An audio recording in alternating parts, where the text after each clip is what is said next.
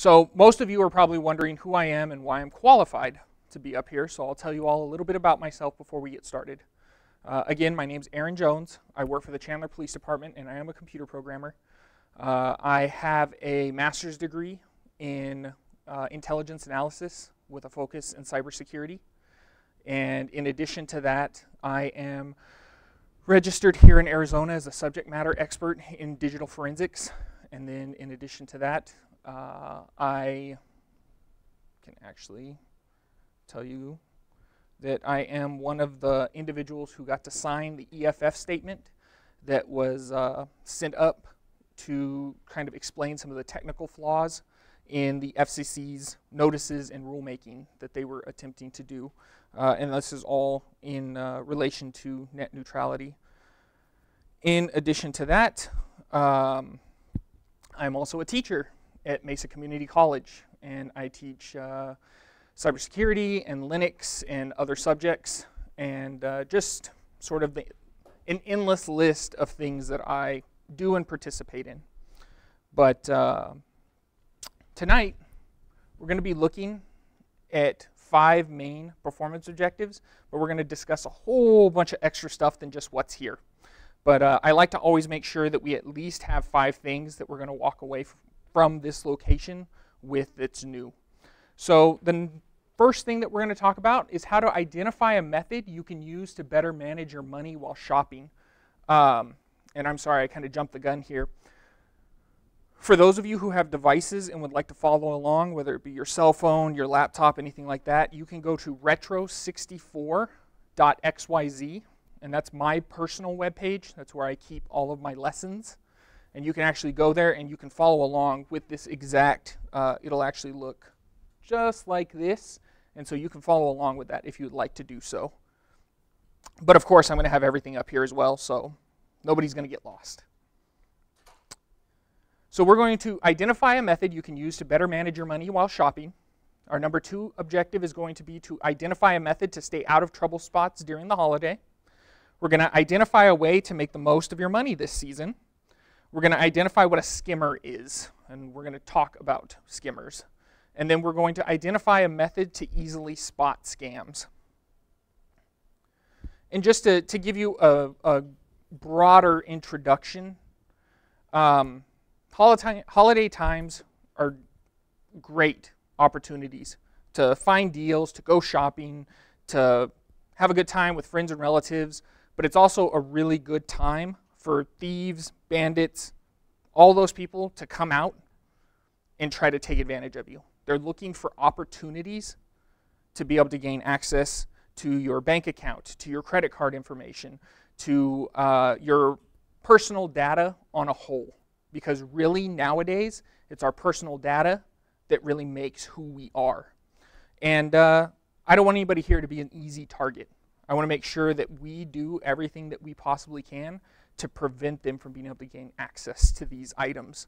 So we need to pay attention to our physical, our mental, and our digital security during the holidays, and we need to do our best to reduce our chances of becoming a victim because you're going to be the first line of defense in your own security.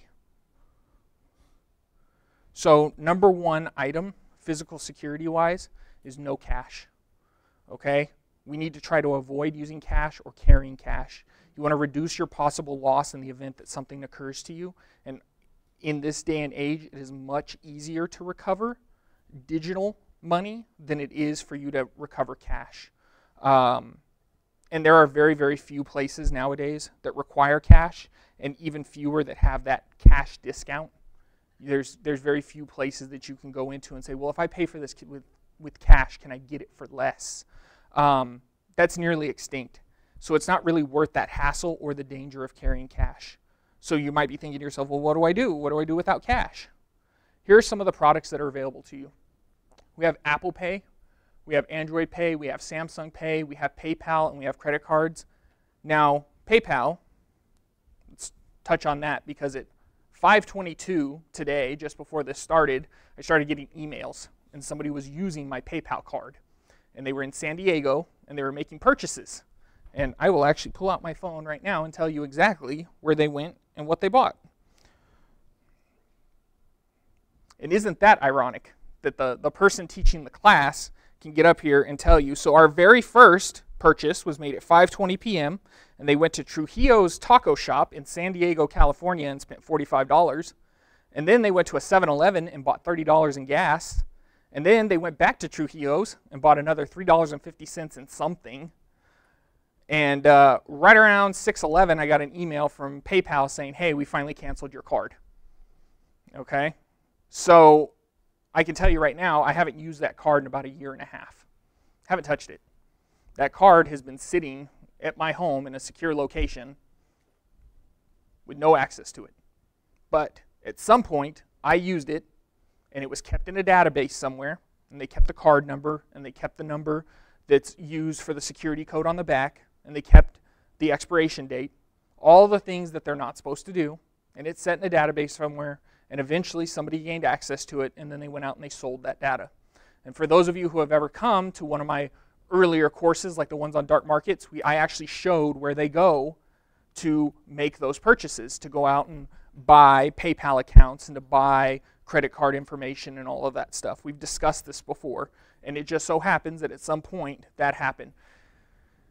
And if you notice, I'm not super visibly upset because guess what? It's happened to the best of them. I can tell you about Bangladesh and the, the nearly $2 billion that Bangladesh lost after somebody gained access to their account numbers and started sending uh, ACH requests to New York, trying to move money out of the country. I can tell you about different cities and states. I can tell you about different countries. I can tell you about all sorts of people that this has happened to. So for it to happen to me too, it happens to everybody. And we will further on go into what it is that we exactly need to do to be able to recover from this stuff and who we need to talk to and the things that we need to say. If at all possible, try to use something that obfuscates. Um, Apple Pay, they obfuscate. Anybody here set up Apple Pay yet? No? When you try to set up Apple Pay, you have to link it to like a credit card or a debit card, and when you do so, it will often tell you, I'm sorry, you can't link this card until you contact us and speak to us. Uh, so you have to call, make some phone calls, and you have to essentially um, initialize a path for them to be able to set this all up. And then upon doing so, what Apple Pay does is they obfuscate your information whenever you make a purchase, which is why many locations do not like this because it's very difficult to track you it is not of benefit to them for you to use Apple Pay or for you to use any of these obfuscation tools because that method of tracking your purchases and all that social media data that they take whenever you are making purchases, all of that stuff is worth money to a company. They can use that uh, for data mining and things like that. Uh, if you're using a tool like this, it's much more difficult to do something like that. And of course, I, I leave up there many, many different choices. And with the PayPal thing, the moment I started getting emails, I picked up the phone, canceled the card, and began the process of saying, hey, these are not my charges. And tomorrow, whenever I come into work, I'm going to sit down and I'm going to file a police report. And luckily, I don't have to go very far to go do that. but uh, it's exactly what I'm going to have to do. And it's all part of the holidays. So we want to reduce our footprint. As few cards as possible. We want to reduce cash. We want to do all of these things. And then in addition to that, we want to make sure that whatever it is that we are using gives us as much control as we possibly can get over our finances. People out there are going to do the wrong thing. Okay? I've talked about databases in here and I've talked about different ways that people have messed up their security. Uh, one of the number one things that we teach people is not to use the username of admin and the password of admin.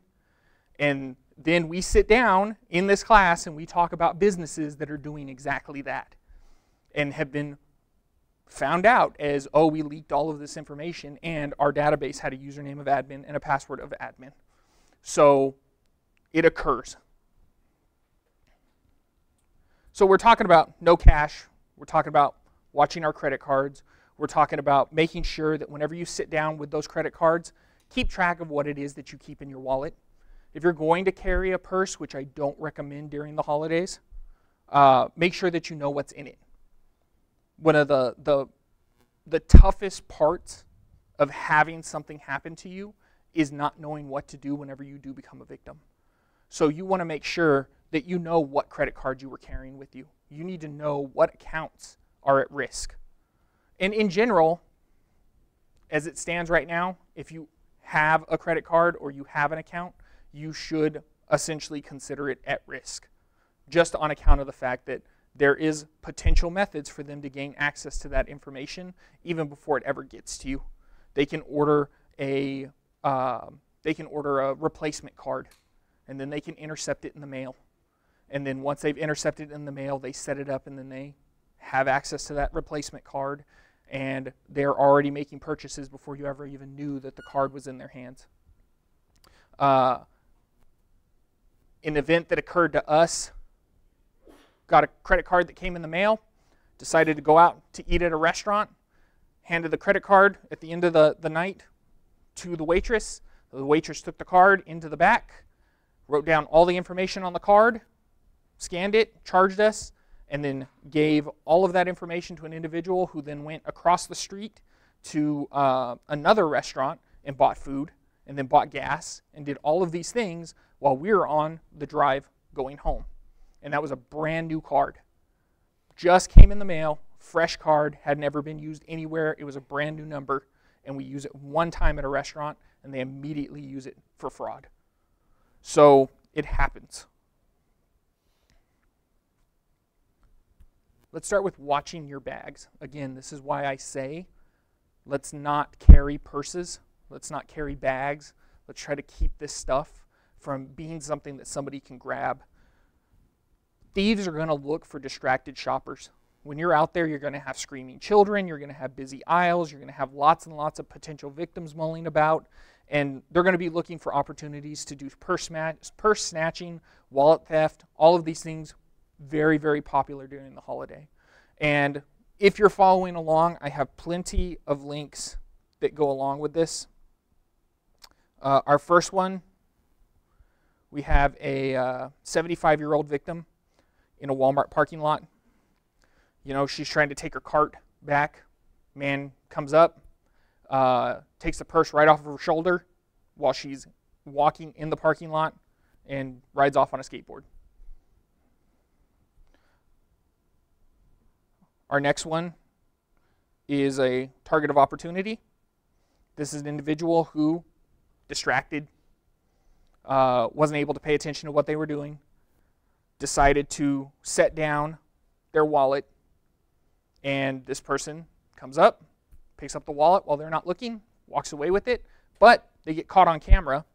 Uh, the news that night puts this person's picture all over the place, and they actually brought the wallet back and uh, return the wallet, just on account of the fact that their picture was all over the place. Uh, here's another elderly woman who was victimized. And this was a pair. Two individuals followed this lady out. Uh, she had her shopping cart with the purse inside the shopping cart.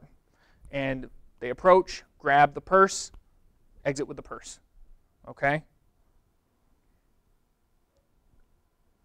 Here's another one 60 year old victim.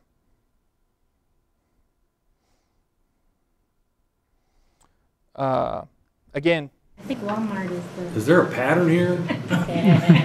seems like it, doesn't it? seems that way. Uh, this lady, she attempted to chase her subject. I don't recommend that and we're going to get into why I don't recommend that here shortly. But uh, she attempted to catch this person. This person got in a vehicle and fled in the vehicle. Okay? Again, one more elderly woman injured after purse stolen. Uh, this one tried to grab the purse. The lady tried to hold on to it, yanked it away from her, damaged her arm. Uh, that individual ran away. So I ask, do you see a pattern here? They're looking for individuals who can't really defend themselves, are not exactly paying attention, place the purse in the cart, maybe distracted, trying to get into the vehicle or something similar. And in addition to that, they're all shopping. They're all out where they have money. They've got their credit cards with them, they have cash, they have whatever else it is that they're keeping in their purse for that trip cell phones, so on and so forth. All goods that somebody may want access to. Again, that's why I say try not to carry a purse if at all possible. Um, when my mother asked me, hey, I'm going to go out shopping, what do I take with me? I always tell her, remember, don't take your purse. Make sure that you leave the purse at home. Just on account of the fact that the individuals that are out there, they're going to be looking for that purse. Same with your car. Insurance doesn't cover everything, okay? And I have a pretty good article here that you can get to. And again, this is all through archive, so this stuff should last for a very, very long time. But it breaks it down for you that you can place all these packages in your vehicle. And a lot of people think, well, I have car insurance, and car insurance should cover that. Well, it doesn't. Oftentimes, they're going to tell you that you have to use your home insurance, and then even then, it's only going to cover X amount of money between you know 500 to 1500 dollars and then in addition to that you're most likely going to have a deductible and then potentially you're going to increase your rates so by the time's all said and done when you actually compare well is it worth it to report this and file an insurance claim or is it not worth it to file an insurance claim? Potentially financially wise uh, you could end up in a situation where it's just not financially feasible to file the insurance claim. Um, and then some credit cards, though, are going to have protection benefits. Um, that will protect you, you know, within 90 to 120 days if something occurs with the product that you just bought with that credit card, or if it's stolen, or things like that. Uh, some of them do provide loss protection. Now, you need to make sure that you talk to your credit card company about this and find out what you qualify for and what's on the account and what you can actually expect in the event that you need to file something like this. Uh, in addition to that, I've noticed, so everybody here fully aware about what happened with Equifax, the Equifax breach, and they dropped all this information and all this occurrence happened. Uh, I immediately started calling and contacting different companies, credit card company, bank account, uh, just so on and so forth. Anybody that I was particularly concerned about, investments, things like that. I went to all of those individuals to ask, what are you going to do about it? What are you doing to protect my information? And what do I need to be worried about? And of course, if anybody else here has made those phone calls, the first thing that they tell you is everything's 100% covered. Don't worry about it. We're going to watch over everything. No big deal. Uh, I know my credit card company said that. My bank said that. All of these individuals said that. And I told them, so what do I do in the event something does happen? And they were like, don't worry about it. What that tells me is, is that they don't actually have a plan. That's the, that's the real concern for me. Um, yes, they're telling me not to worry about it, but it just means they don't know what to do. And they, they're, they're preparing for it. Keep your receipts. Don't leave the receipts in the bag. If they steal the bag with the goods in it and you don't have the receipt, you're going to have a real hard time proving that you purchased that item, right? So separate things out. Uh, of course, the number one item being don't pack all that stuff into your car and leave it somewhere unsecured. But in addition to that, make sure that you have the receipts in a position where you have access to those separate from the goods because when you file your police report or when you contact the police department, they're going to ask you for receipts, for documentation, for all the information that they need to be able to successfully file that report. And don't forget, certain items are simply going to be excluded. This one, uh, this one lists antiques, but there are certain other items that they simply won't cover. Uh, just like on your insurance policy, oftentimes firearms are separate from everything else. Jewelry is separate from everything else. There's going to be specific items that you may have purchased that that protection is not going to count for simply because of the nature of that item.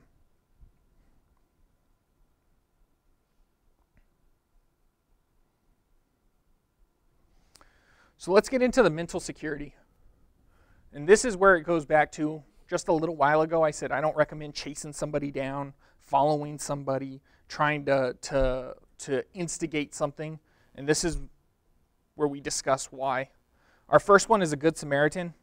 Uh, this individual out on Black Friday, out with their uh, family, witnesses a man uh, attacking a woman, intervenes, pulls the guy off of her, tells him to go. Guy turns around and puts a bullet through his neck, kills him in the, the parking lot of Walmart. Okay?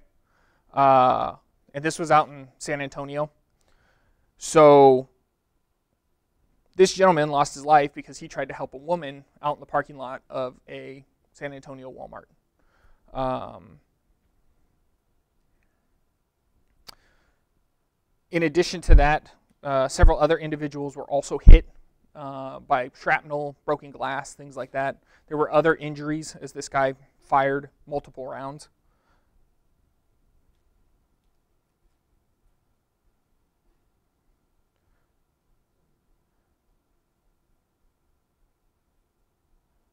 And I'm going to tell you right now, sometimes when I'm driving, I look at other people and I get mad.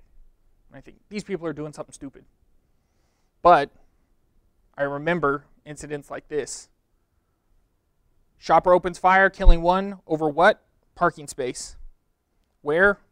Walmart. Somebody was trying to park their car at a Walmart. Somebody else took the parking space.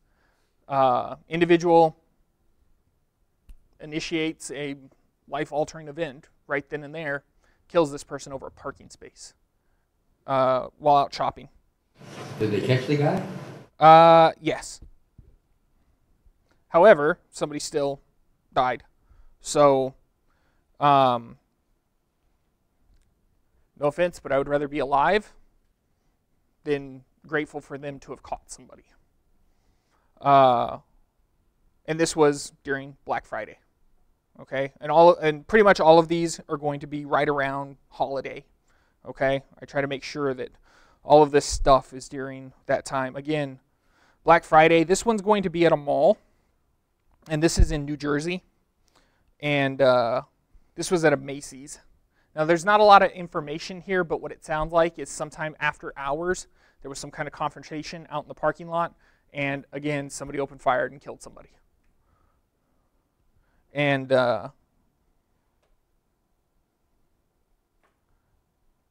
now, this one is one that a lot of people don't think about. But what are we doing during the holidays? We're busy. We're running around. We're trying to wrangle kids. We're trying to wrangle family members. We're putting in maximum effort over several very condensed days, and people are not sleeping. They're drinking. Uh, they're trying to juggle partying with being able to make sure that everybody's still okay. Uh, this gentleman right here, he was driving home, went to a uh, Black Friday all night shopping event with his wife and his children. Uh, hadn't slept in, uh, he hadn't slept more than three hours in a 24 hour period.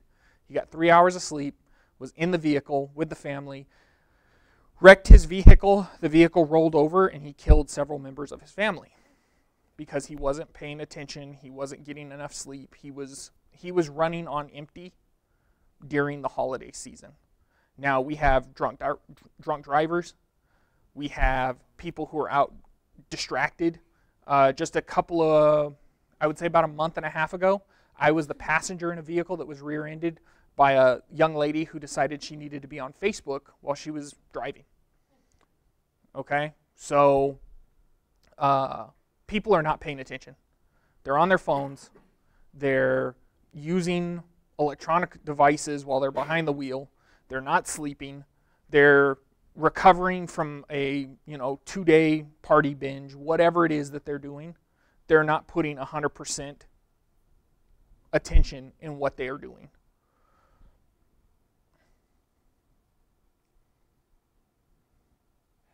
Here's another one.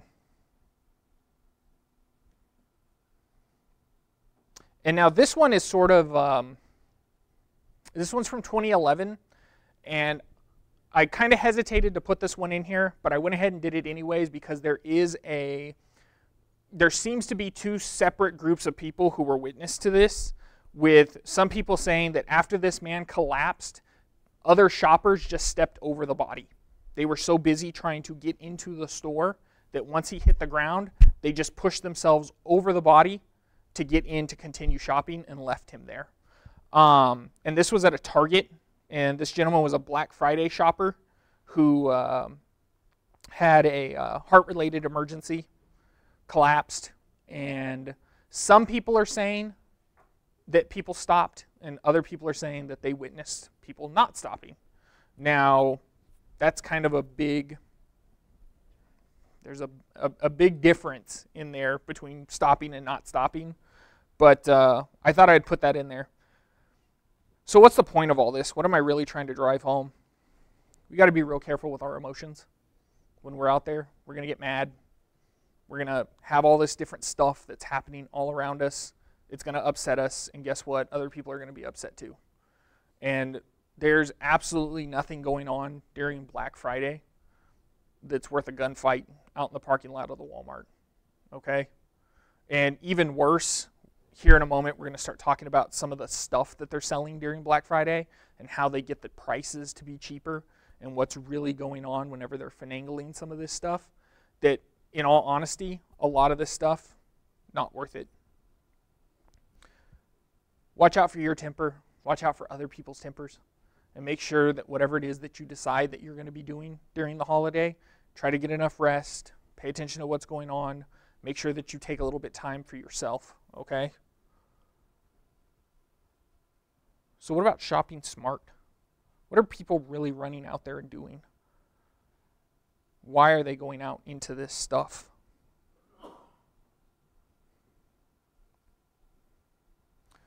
So, again, I have another link here, and this one is called. Uh, oh, there we go. Is Black Friday a scam? A lot of people are going to get dressed for what amounts to a very stressful period, go out on Friday and start looking for quote unquote deals. I like their example here with the flat screen TVs, and this one's pretty good. So, what a lot of these companies will do is it will say XTV inside of the ad, and then it will say or equivalent in very, very small letters down at the bottom. Or it will say X manufacturer, and then it will have a serial number for said TV or device. And that serial number will be just a little bit different than a normal copy of that device. So if it's a 55 inch TV, 4K, so on and so forth, well, they're going to sell you a 55 inch TV that is 4K, but the serial number is going to be just a little bit tweaked. And it's going to be a model of that television that's only sold at that location, uh, like a Best Buy or uh, some other place.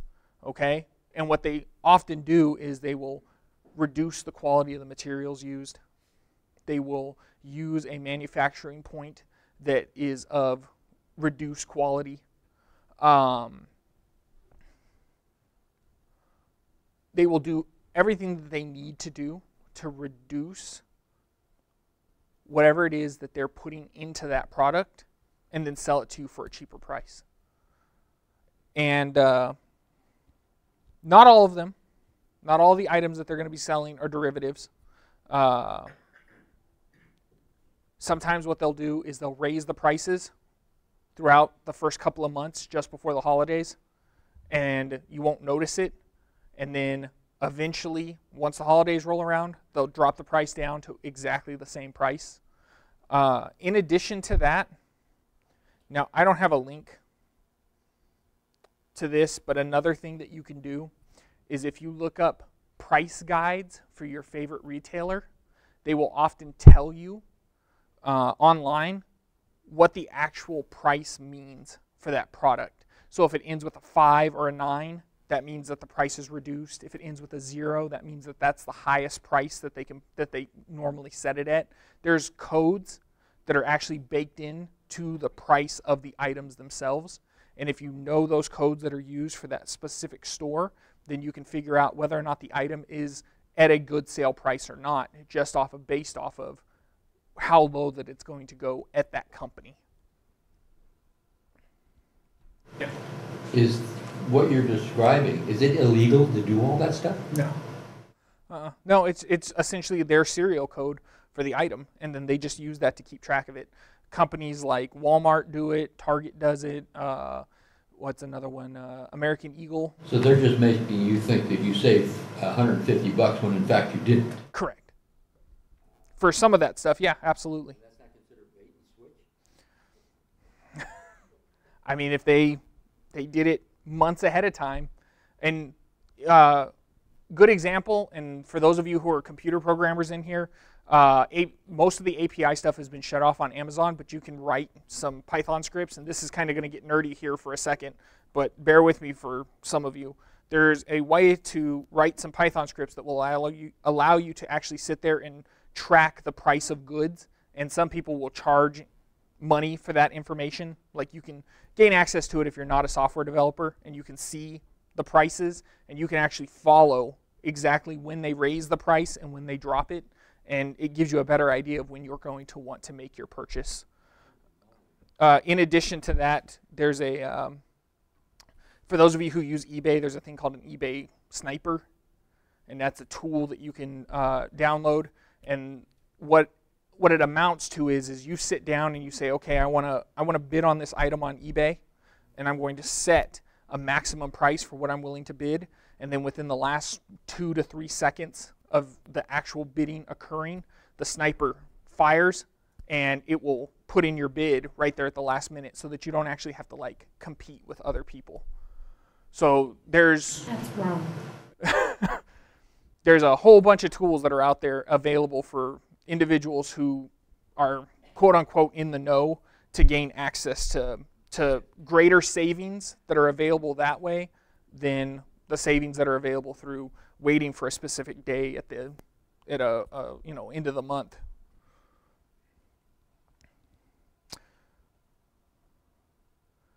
So what I'm really trying to tell you all is that your holiday shopping is not necessarily the best time to find deals. And you got to be real careful with this stuff.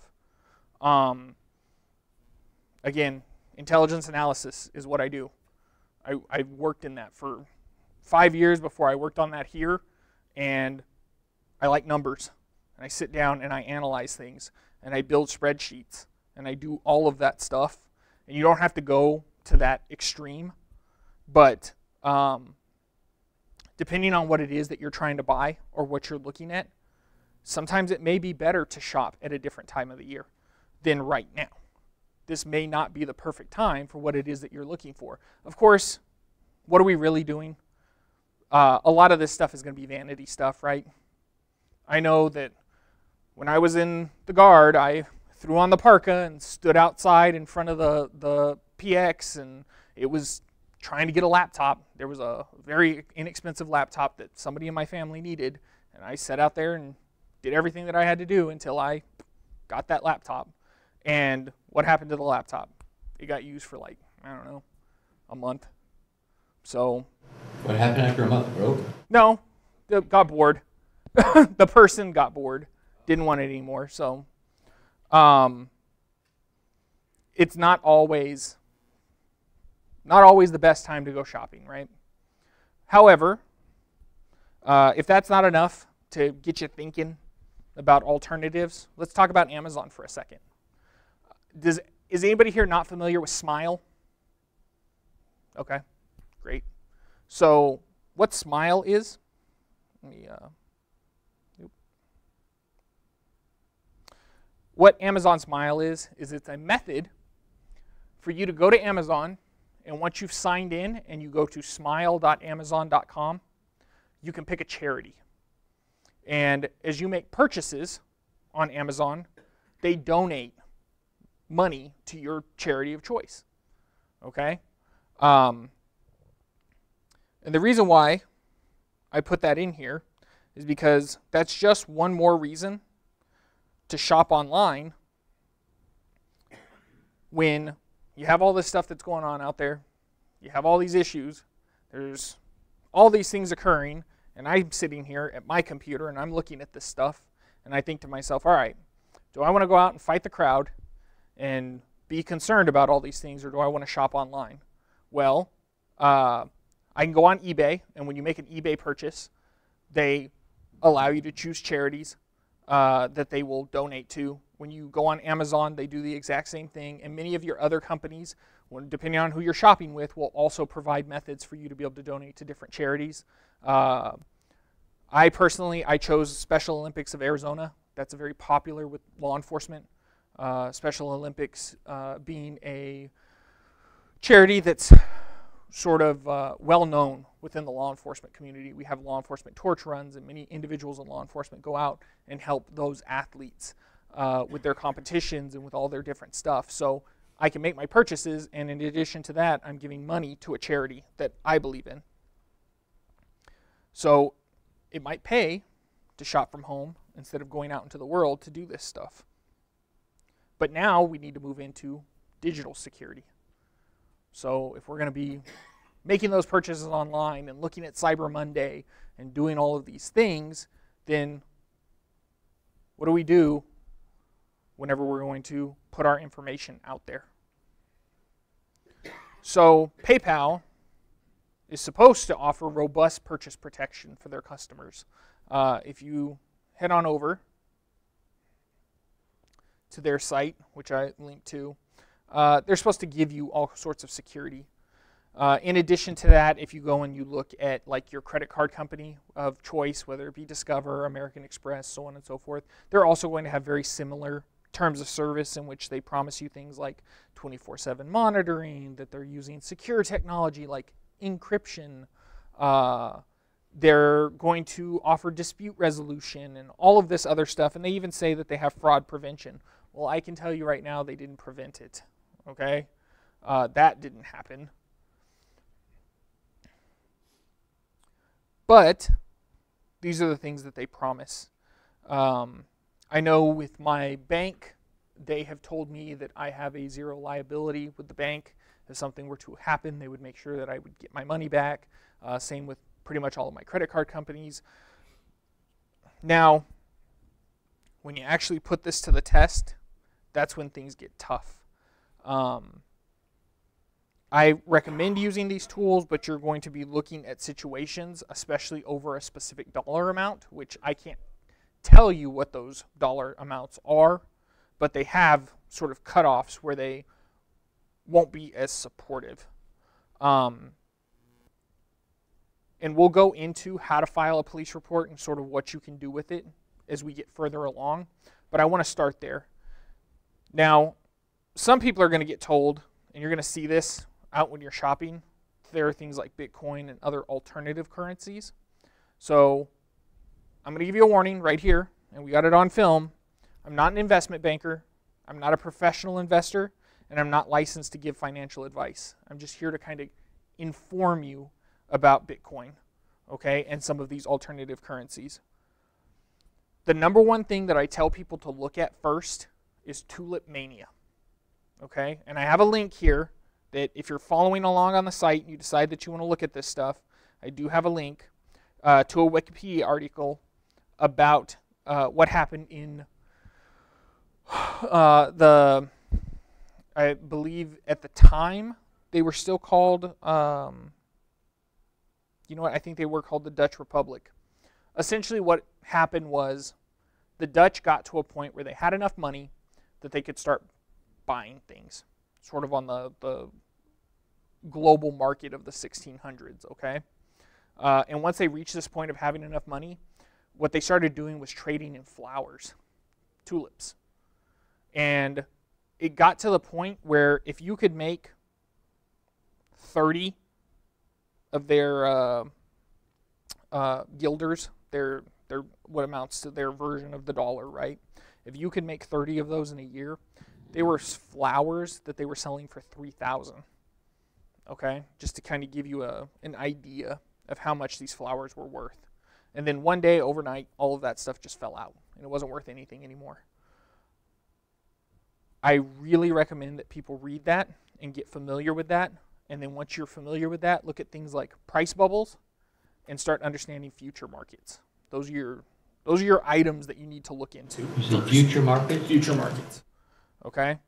If you want to learn about Bitcoin, start there and get a good understanding of those items and then start looking at the companies that are actually investing in and investigating blockchain technology. I'm just going to give you a list of three here Australian Securities Exchange, Wells Fargo, and IBM.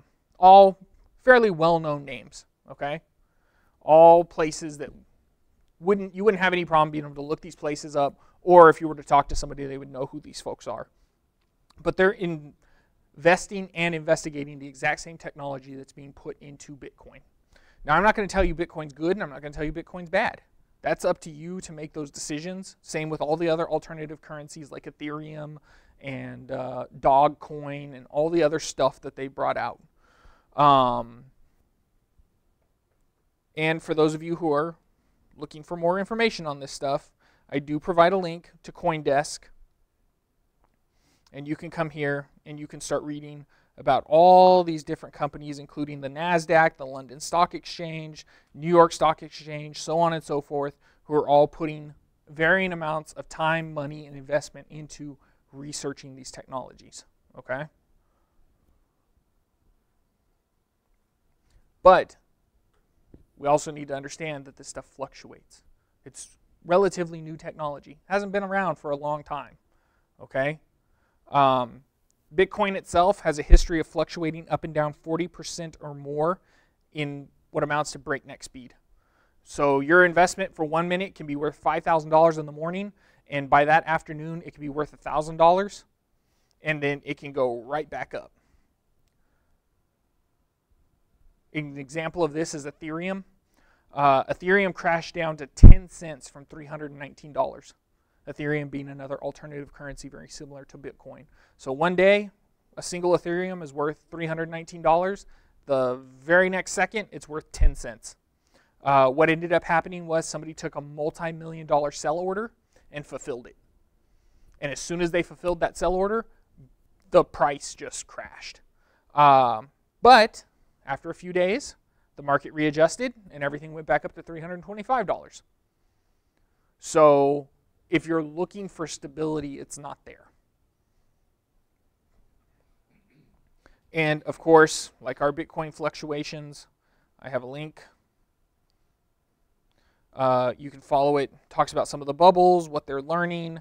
Uh, one of the problems with archive.is is it doesn't archive all of the JavaScript. And so because of that, some of the pages are a little messed up. But you can definitely follow along. It goes over to what's happening in China, what's happening all over the world in relations to alternative currencies. Uh, again, another link that goes over what's going on with Ethereum and their crash. So I have news articles for everything that I discuss here so that you can follow along. And then let's get into the big one because this just happened. And now I'm kind of picking on Ethereum because this just happened on November 8th. But uh, their Parity wallet, which is a multi sig wallet, had a vulnerability in it, a really big one. And so, what did that vulnerability do? Well, essentially, a user who decided to get on GitHub. And GitHub is for computer programmers to go on there and share code. I have a GitHub account. A lot of the other people that I'm familiar with in this class, they all have GitHub accounts. Uh, it's a good place to be able to go on there, share code, uh, collaborate, and work on different projects. Well, this individual gets on there and starts looking at the parity code. And they claim, this person does claim, to not be a computer programmer, to have no idea what they're doing, and to be playing around. And while playing around, they sent a cancel request across all of the wallets, which in theory, that cancel request should have done nothing. But instead, what it did was is essentially shut all of the wallets down and lock them. He canceled everybody's wallet. So what happened? Well, within moments, uh, they lost $280 million. Just poof just as if somebody went out and said, all this money right here, it's, it's no good anymore. That's what this person did. Just waved a hand and $280 million was gone. And that's just initial estimates. They're not actually sure how much money was actually lost yet. Okay? And from what I've read so far, that stuff is gone. Uh, they have not recovered any of it. Now, that's not their first rodeo.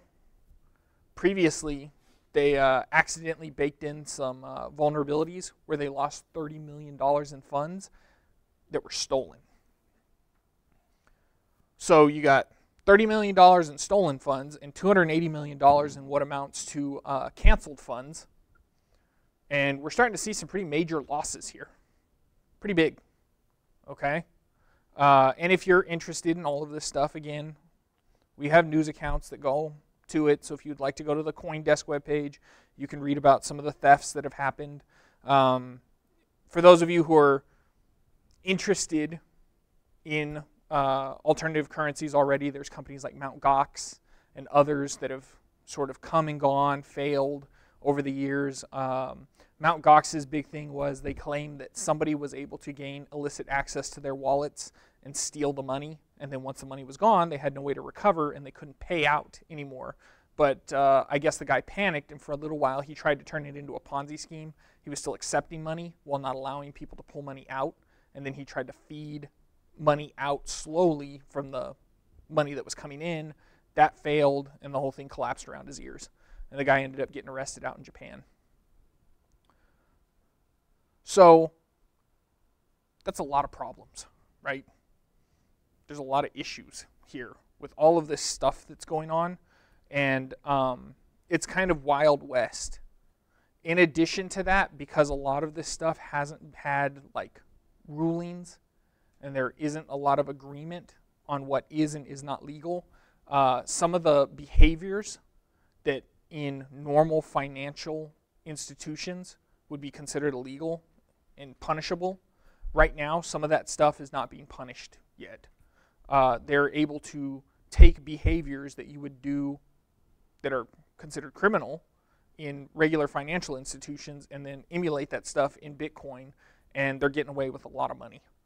Um, part of the problem with uh, things like Bitcoin are there's a lot of currency manipulation in which they'll force the price down, buy up more, price goes back up, they sell, and there's a lot of movement in that that's coming from some pretty big spenders. And you can follow it all along in the blockchain. You Google about it, and they'll actually show you where you can read about that stuff. So now let's talk about our accounts, because this is going to be pretty important as well. And this is a big deal, and I'm going to focus on this even though there's not a lot of whole lot of text here. This is actually pretty important.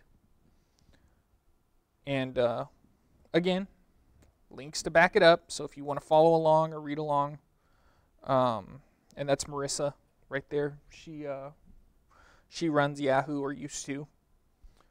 They had Equifax come in, and we're all familiar with the Equifax breach. And then they had Yahoo come in uh, to speak to the Senate. They had a Senate hearing, and they asked these individuals to come on in and uh, give an explanation for what happened. Tell us a little bit about your cybersecurity. Tell us a little bit about the events that led up to the attacks. Tell us what was lost. Tell us about what you did to fix it. And what are your plans for recovery? Those sound like pretty fair questions to me. Um, they didn't know at all. Couldn't tell you how they got in, couldn't tell you who took what, couldn't tell you what was missing, couldn't tell you why, couldn't tell you when. Uh, didn't really have any information at all. What it amounted to was we don't know. We don't know anything about these accounts. We don't know where it went, why, when, nothing. Uh, if you've been following along with the Equifax stuff, let me give you kind of a breakdown of what we know cybersecurity wise happened. Uh, somebody set up some databases, and those databases essentially had a username of admin and a password of admin. So that was the extent of their cybersecurity.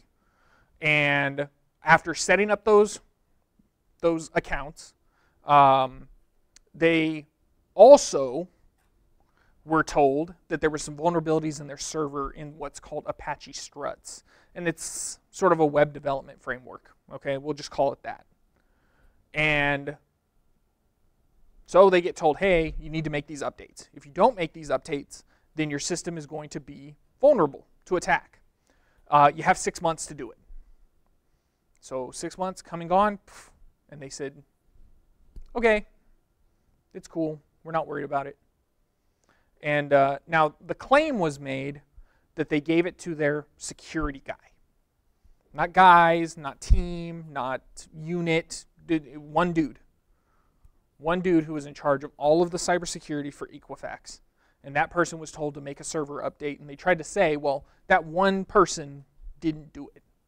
Um, a lot of us in here have either been in the military or other paramilitary organizations. Um, let's talk about helicopters for a second. You don't have one person that just goes out and looks at the helicopter and says, Yeah, that's cool. Go ahead, hop in that thing. I don't care. It doesn't work like that. Uh, jets, they don't have one person that goes out and looks at a jet and goes, Yep, that's fine.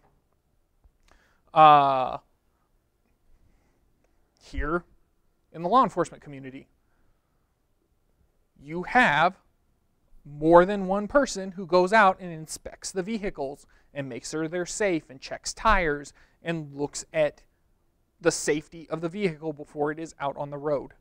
There is more than one person who puts eyes on tons and tons of stuff out in the community. And that's probably like that at just about everybody's job here and anybody else's job anywhere else. But what they're saying is, is that they had hired a single person to manage all of the databases and all of the cybersecurity for Equifax across the entire globe. I have a hard time believing that that's the case and that potentially this was just something that was said, and this is personal opinion, but it was something that was said in an attempt to deflect what was going on. Because for you to tell me that you only had one person running this stuff, that's super hard to believe. But if it's true, that's even worse. Um, another reason why they brought in that that Marissa Mayer is that after all of those accounts um, were lost, they then sold the entire company to Verizon, and she got to walk away with $260 million. Okay? So she loses all the accounts, and essentially the entire business model consists of having accounts and keeping those accounts safe.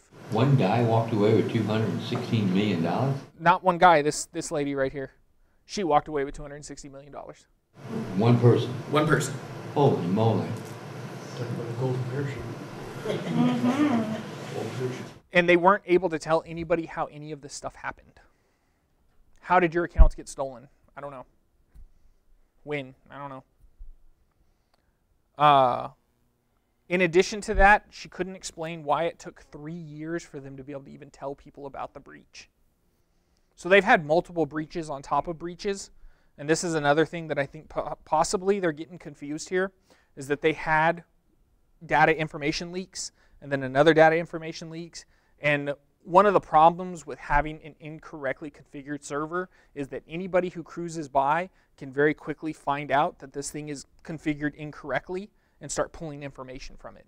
In addition to that, in my Introduction to Dark Market class, uh, when we talk about this stuff where they go to sell this data, it's very easy for these guys to look at some of the data and start to get a kind of an idea of where that data comes from, and it gives them ideas of where to go sniffing to gain access to that data themselves.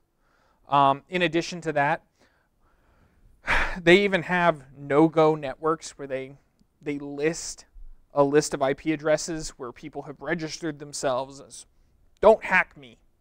This is my this is my address. It's kind of like um, let me give you an a, example here.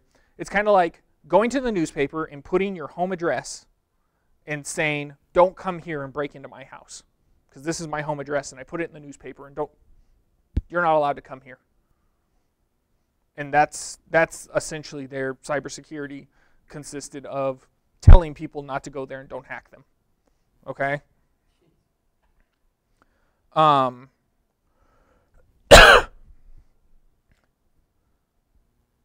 one of the nice things that she did was she did apologize. And she was very, very sorry that all those accounts were lost. What did she do with the money? um, I'm sorry, I didn't take more. and then at our at our friends at Equifax, uh, a lot of them left. And then this is also interesting, and I'm not sure how this is going to play out because of the fact that um, it's sort of still being investigated. But just before they decided to announce what happened at Equifax, a whole bunch of them took all of their stocks and their options and all the other stuff and went and sold it. But then what they did was they had an internal investigation where they found that nobody did any wrongdoing. So they investigated themselves and then cleared themselves of all wrongdoing and then came back and said that everything was cool with what they did. Um, so that's interesting. Uh, so after they sold millions of dollars worth of stock, then they went out and they informed the public about what happened, and then the stock wasn't worth as much anymore. Uh, and then, uh, of course, they talked about some of the, the, the problems with the breach and what happened. And of course, it comes out that, well, none of this stuff was a sophisticated attack. And if you look at any of my other classes, you'll find out that really what it comes down to is going around and knocking on doors. They, they have a tool. Uh, one of the tools we discuss is called Masscan. And lo and behold, what do you think Masscan does? It scans the internet. And it just goes from server to server to server, and it looks for ports, and it looks for um, whatever tools that are being used to communicate, and it just knocks. And it says, hey, is this open? No? Okay. What about this? Is this open? And it just checks. And it's all automated, and you can just let it sit there and you can let it run. And if you have a, a nice enough setup with a fast enough internet connection, you can scan the entire internet in about five to eight minutes. So every single server on the internet that's connected right now, within eight minutes, you can go and you can knock on every single door to see whose door is open. None of this stuff takes very long to manipulate or to get into. None of it. And it's not even like the digital equivalent of smash and grab because they're not paying attention to any of this stuff anyways. It's the digital equivalent of going in and setting up shop and living in somebody else's house for 3 months before they notice that you're there. That's what they're doing. Uh, also, Equifax did make the announcement that they plan to spend four times as much on cybersecurity. So they're going to spend more money. Four times zero. Four times zero, that's right. That's four employees. Yeah, right. Four guys that did not install it. So I have some information up here about social security numbers. In one of my last talks, I actually had a, a, gentleman who decided to, to ask some questions about something that I said. And I brought up the fact that our social security numbers for a long period of time were um, generated off of what amounts to a formula. So if you knew where a person was born and in what year they were born, you could potentially use that formula to get a list of all of the social security numbers that would have been issued during that time period. And then potentially that person's social would be in that list if they got their social issued in the same area that they were born. Of course, if they moved and got their social issued from somewhere else, it would not be the same formula. Um, I went ahead and went to the actual Social Security Administration. And right here is a link to be able to verify Social Security numbers so they can actually go in and tell you whether or not it is a legitimate number. They can't tell you whether or not that number is actually issued to that person, but what they can tell you is whether or not that, that social number would be considered the actual social, like an actual social. And then in addition to that, they also provide a lot of information on the how the social is built. Now, good news for all of us is um, that's not going to be the current policy very soon. They're going to end that policy of generating social security numbers from what amounts to a formula that anybody else can sit there and um, do the same thing. They're going to now make social security numbers in a randomized method. Now, the problem I have with that is people are still going to ask you for your social. And your social is still going to be in databases. It's still going to go places. And people are going to still have access to all of this stuff. So even though the social has been randomized, I'm not exactly sure what kind of good that's going to do when the social security number is going to still be out in the world available to people. Now, on a personal note, my biggest concern right now about Equifax and their loss of our social security numbers, all of the jobs that we've ever worked at, how much money we make, all of our addresses, everywhere that we've lived, uh, our names. Uh, what else was in there? I believe our vehicles that we own were also in there, and essentially everything that your employer reports, which for some employers that can vary. So all of that stuff that is now out in the world, uh, one of my big concerns is tax time. So tax time is going to hit, and people are going to use this information to go out and they're going to file your taxes. And they're going to file those taxes in a way that they get a great big old return. And now you're going to be tied up with the IRS dealing with trying to get your tax stuff. You're saying some other uh, strangers are going out there to file taxes for other people and, That's already been happening, yes. and getting the return? Correct. And they do get the return. And that's not illegal? No, that is illegal. No, that's very illegal. That that is a huge problem right now. Um, does anybody remember when uh, the IRS turned off the ability to file the taxes online for for a short while? They had that system where you could go in, and then it turned out that you could just randomly put numbers and information into it, and it was sort of essentially allowing you to just connect with somebody's account. And people were funneling information into the system programmatically and just filing tax returns and getting millions of dollars out of the government. That's incredible. And so that has already happened, and that's already an issue, like a, a blemish slash black eye on the government. And then now we have the Equifax breach. And so my big concern is what are you going to do with that information? Well, the number one thing that you should do with it is you're going to go and you're going to go file tax returns and you're going to pull money from the government and leave somebody else to have to go deal with the IRS. So the, the, the safety is to not have any money, to make no money. What are they gonna do? You know, I make, I make fifteen thousand dollars. Well, you don't need to file a tax return. Well, I can't get anything. Well, if they do file, though, you're still going to be on the hook for when they come looking for the, the return back. They're going to do an audit, and then eventually they're going to come calling at your door. Is anyone safe? So I guess I should have.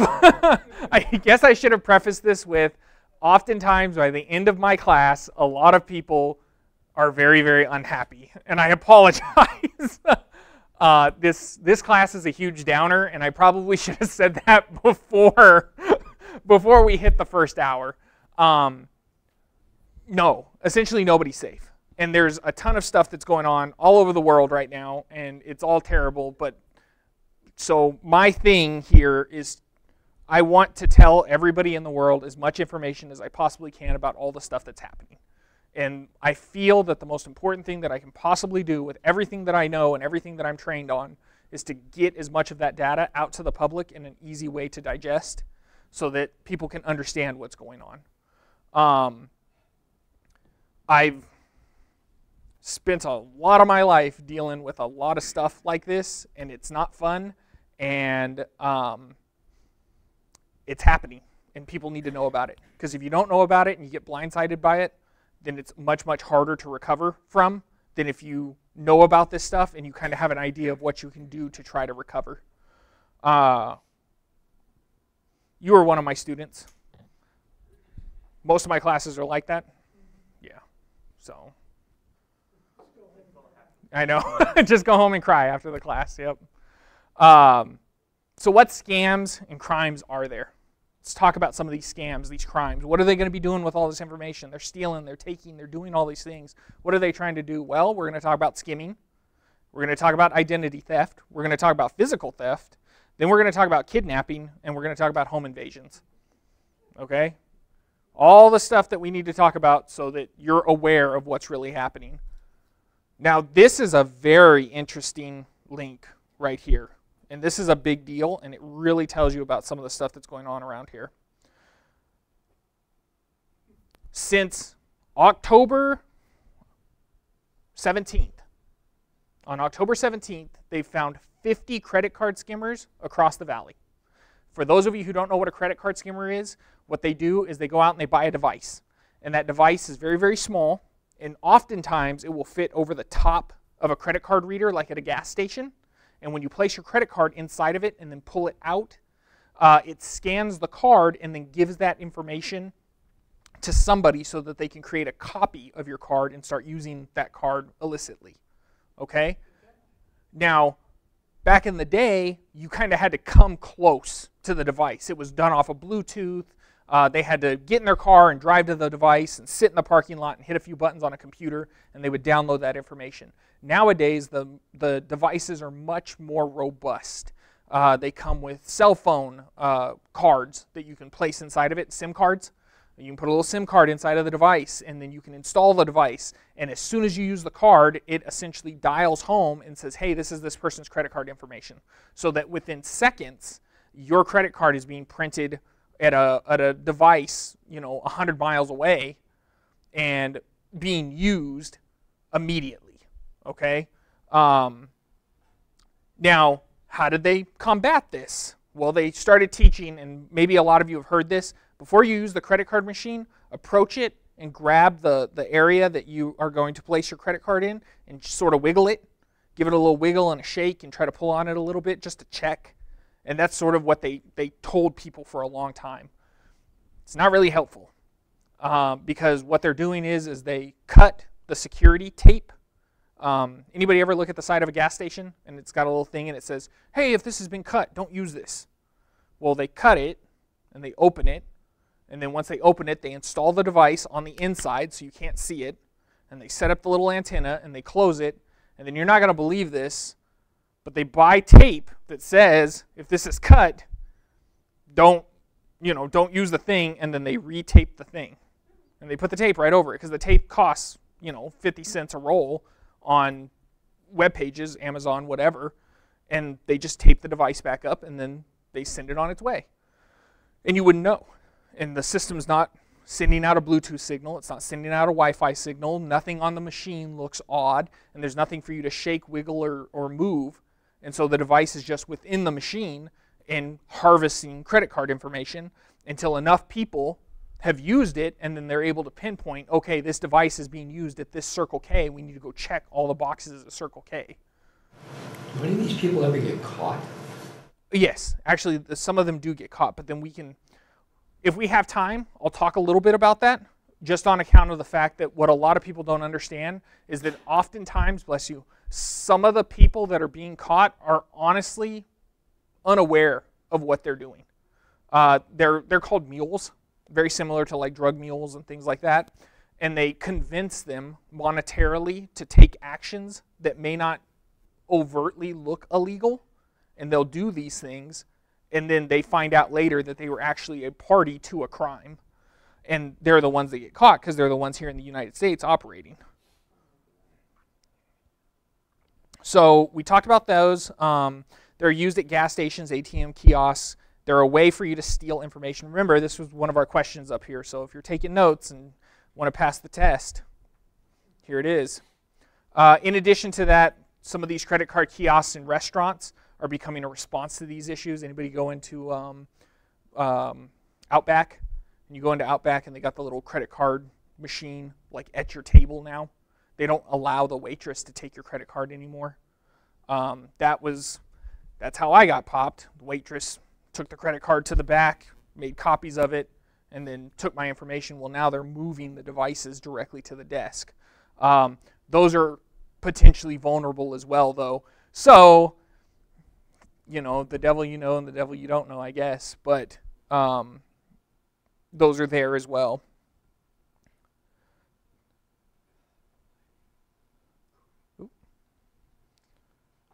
Here's another list of identity theft issues that are going on during the holidays.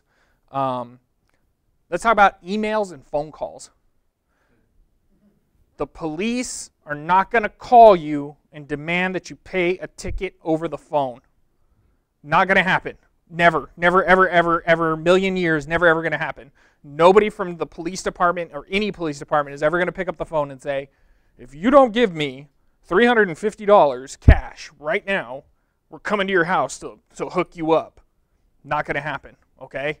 I want to make sure that every single person in this room, if you walk away with nothing else, walk away with the fact that they're not going to call up and try to extort you over the phone. That's not what the police do, Okay?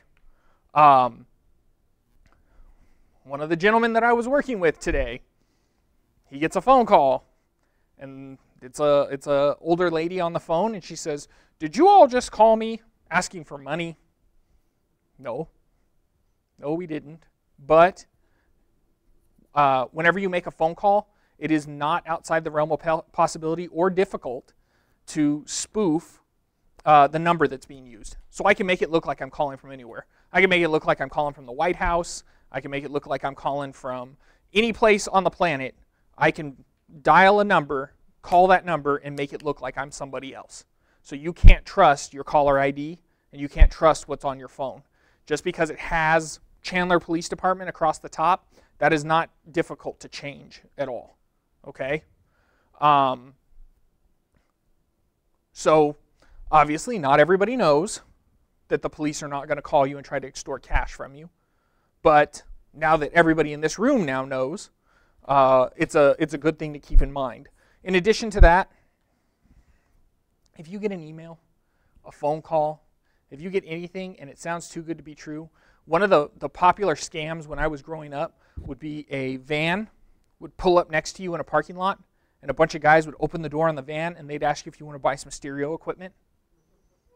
And they'd be like, hey, come over here. We got stereo equipment super cheap. It's a $10,000 subwoofer setup for your house for $25. We really got to get rid of it.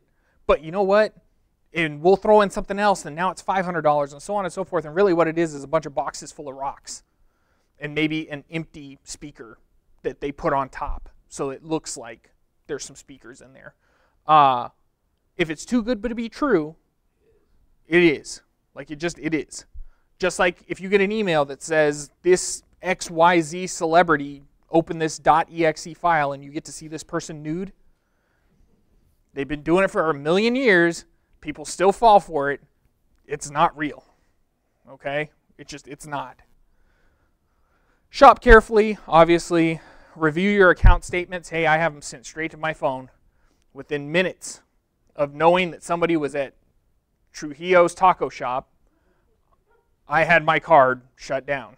Okay? And for those of you who came in late at 522 today, just before, you know, a little while before this class started, somebody started using my credit card out in San Diego.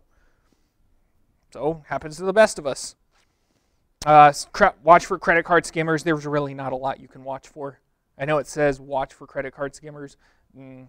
In addition to that, most of them are smart enough to know not to use the credit card that they skimmed within the first three months of them gaining access to the card, which is probably what happened to me. At some point, I used that card and they just set on it and set on it and set on it. And then eventually, now that it's the holidays, they used it right now in the hopes that I would be using the card and not paying attention to what's going on. They're trying to hide those purchases inside the noise of whatever it is that I'm doing right now. Uh, be careful with your retail card applications and stuff like that. And of course, they're going to mail credit cards to you. And guess what? People are going to steal your credit cards. Uh, mail fraud, real big right now. Stealing from the mail, real big. Um, uh, UPS, package snatching. Yep, package snatching, all of that stuff. I, I kind of want to tell a story that I don't know if I can tell. Uh,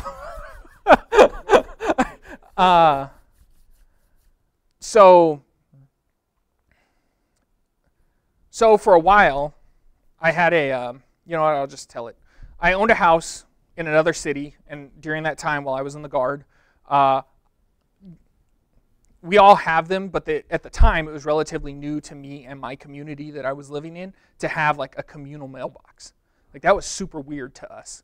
When I grew up, we had a mailbox, and the guy in the shorts drove around in the little truck, and he jumped out and he put mail in each box. And my mom would send me outside to get the mail. Well, I get my own house, and they gave us this communal mailbox, and of course, the people in the mail have no idea where to put the mail, and they're just putting stuff in boxes. They don't care and my mail kept getting stolen. Opened stolen packages were being opened all this stuff. And i got all the way to the point where i involved the postal inspector. And i was like look either you need to come out here and teach your people how to read the numbers on the box or something but i'm tired of my mail being broken into. And uh, they weren't doing it, and they weren't doing it. So during that period of time, I was doing um, active shooter training, and then I went to some counterterrorism training, and I ordered some books on um, things like poisons and explosives and terrorism and all this stuff that I had to have for these courses that I was taking. And they were all big red books that looked super official and super scary. And when you open them, they had all kinds of crazy information in them, right? And they were all packed with, you know, U.S. government paperwork. So I have this stuff shipped to me, and I'm waiting for it, and I'm waiting for it, and I'm not getting it. And one day I hear a knock on the door, and it's the police. And they come and knock, and they say, Hey, we need to talk to you about your books. because the person had broken into the mailbox, again, my mail, opened my box, found all this terrorism related training material in this box, freaked out, threw the box, and called the police on me, and decided they were going to have law enforcement show up, uh, I guess, to be a hero now, you know, after they were getting ready to steal whatever electronics were in there, and it was just crummy books. Um, so I had to go out there and I had to explain you know why I had these books and what I was doing. And the, the guy recognized me because I often worked with the police. And as soon as he realized whose house it was, he was laughing and I was laughing. And we got my books and all that stuff. And uh, I'll tell you what though, um, after that, they stopped stealing my mail. So that was nice. There was a benefit to that. Jeez. Did they ever catch him? No, no, not that I know of. But they, they stopped going through my mail. Uh, and then, of course, we have stuff like monitor and freeze your credit or your accounts if hacked. Uh, that's what I did. Somebody broke into my thing. I immediately hit them with the, hey, this is fraud, cancel the account, lock my credit card. Uh, and I haven't gotten another email sent, so they're not using the card right now. So, physical theft. And this is the big one kidnapping and home invasion. And why do we have this up here? It's the holidays, right? This isn't this isn't very holiday. This is actually from Florida, and this is fairly recent. And uh, funny enough, the UK news did a better job of reporting this than the US news. This is the UK news, and then this is the US news, and the US news isn't very well done, and they didn't re- report on this very well. But uh, I'm going to tell you a little bit about what happened to this young lady and her family, and then I'm going to show you some pictures. And I think the pictures really kind of explain some of the stuff that occurred. So this young lady comes out of her house. Uh, her house has a very long tree lined sort of driveway away from the home. And as she's going down, um, for anybody who's ever done counterterrorism work, uh, as she's coming around a blind corner, she comes upon a roadblock in the middle of the street. On her street, somebody had taken barrels and built a roadblock. Uh, thank God this young lady was uh, either trained or knowledgeable or something, but this 17 year old girl decides to run the roadblock. Goes around or through it with her car, runs the roadblock, gets away. Her father hears the commotion outside and he grabs a firearm, heads outside, and as he heads outside, several other individuals uh, who are going to simultaneously strike the house. And these are all like 17 year old kids, okay? 15 to 17 year old kids. So they tried to block the road. They were going to do the carjacking, grab the young lady. They had tape and weapons and so on and so forth prepared for her. And then they had weapons prepared for the father. And they were going to hit both simultaneously as a group. Uh, he comes out of the home and returns fire on these kids, and they scatter. And uh, they run, grab a vehicle, they take off. Um, my understanding is he grabs a vehicle, takes off after them, and uh, they're now all being charged with attempted kidnapping and attempted home invasion robbery right now.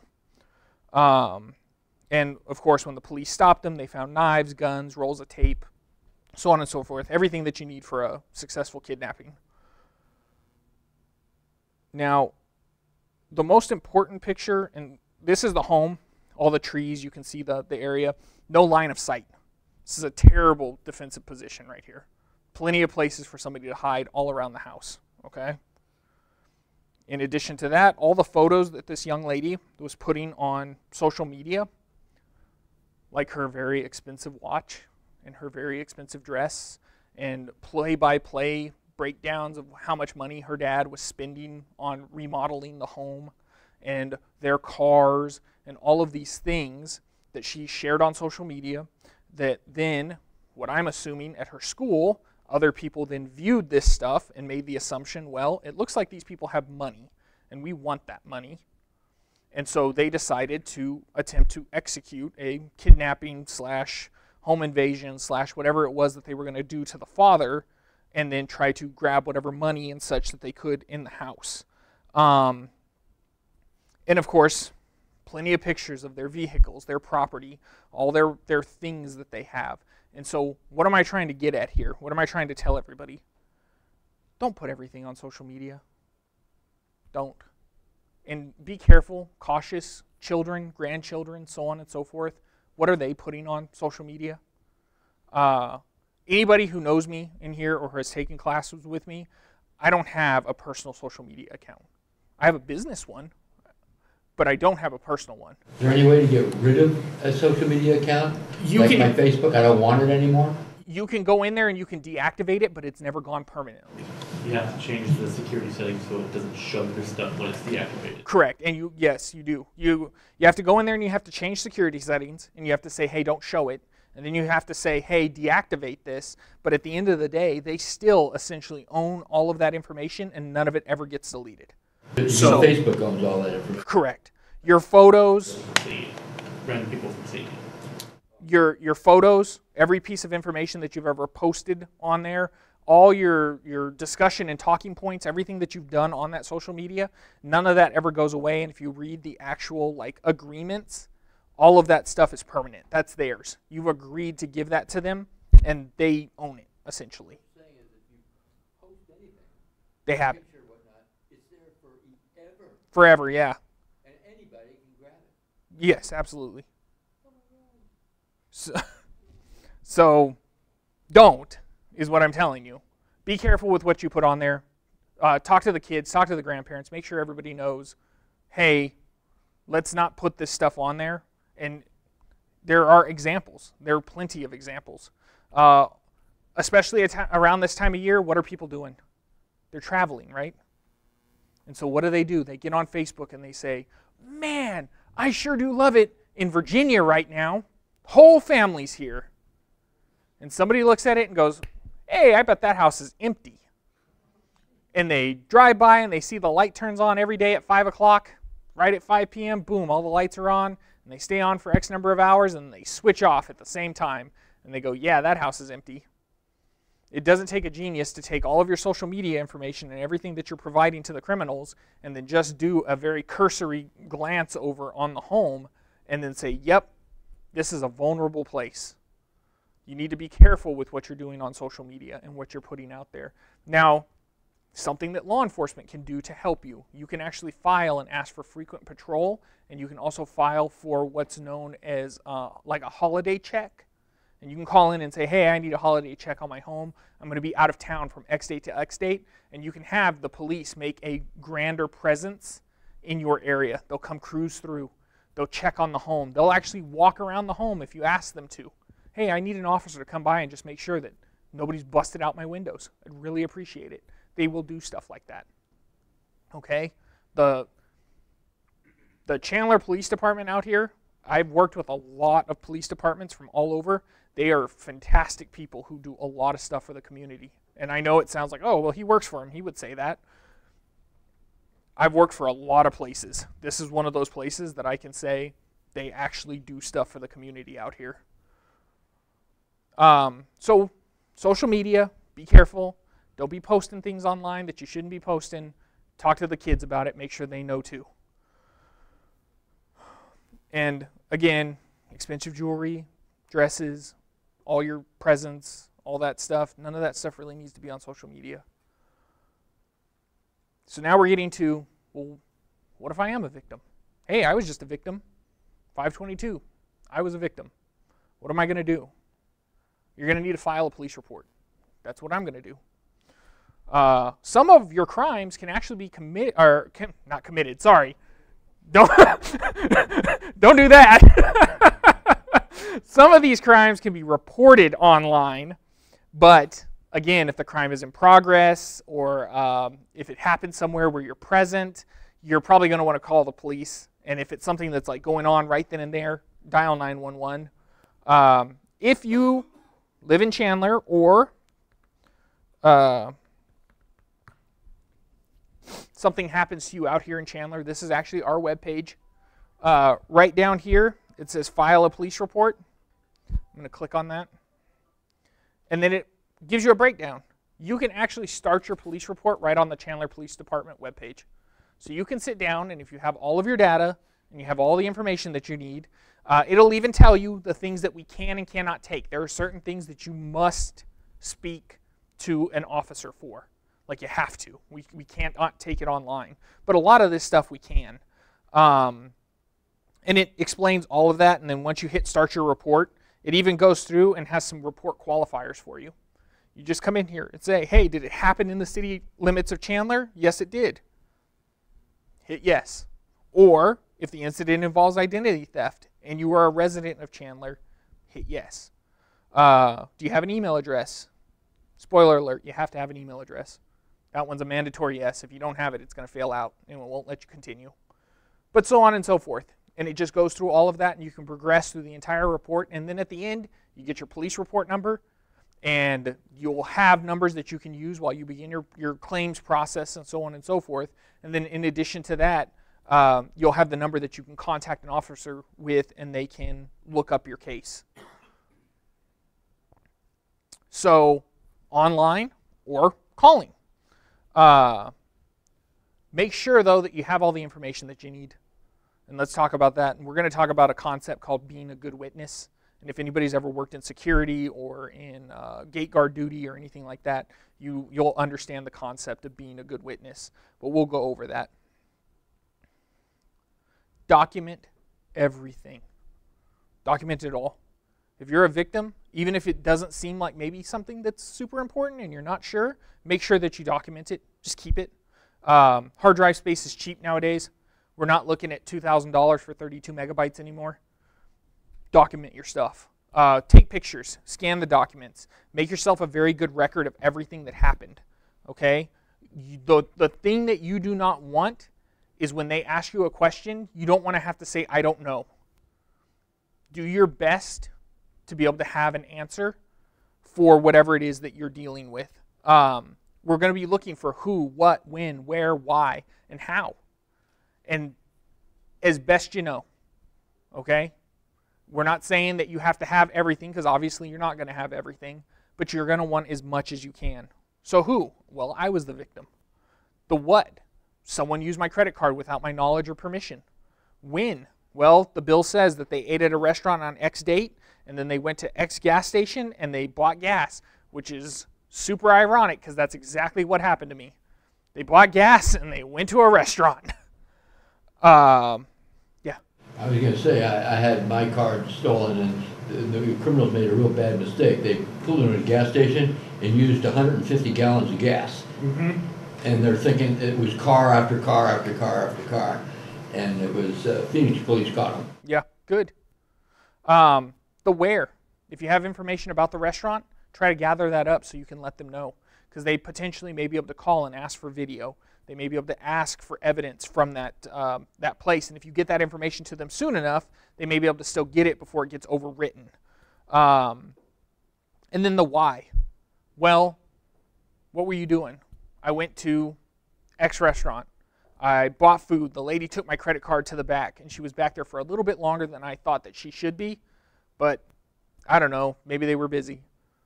Well, that may be a clue that they can use later.